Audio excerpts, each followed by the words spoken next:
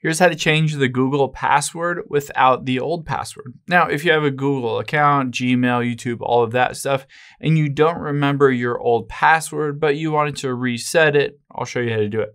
So I'm going to open up a web browser here. You can use any web browser, Safari, Google Chrome on any device.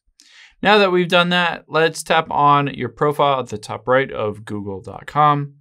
And you need to, of course, make sure that you're logged into the account that you wanted to change that password. If you're not, basically it'll just show you the step that I'm getting to. So let's have, hop into the manage your Google account and then tap on personal info at the top. Now we'll just scroll down until we find password. There it is on there. Tap on password. And the key is, is it asks you for your current password. However, all you have to do is tap on forgot password if you don't know your old password, and it gives you a few different options to recover it. One is you can get a verification code emailed to your recovery email address, basically not necessarily this one, but a different one that you might have access to as well.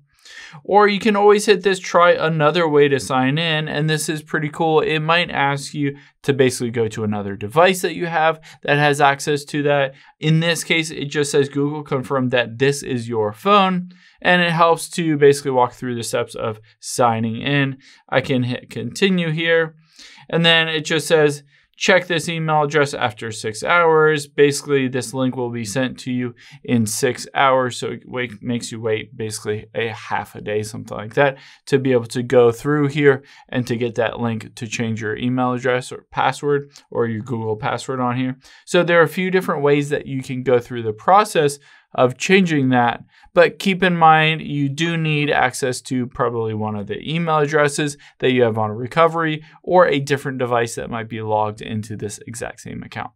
Hope this helps. If you have any questions on that, leave them in the comments down below, and I'll catch you on the next one.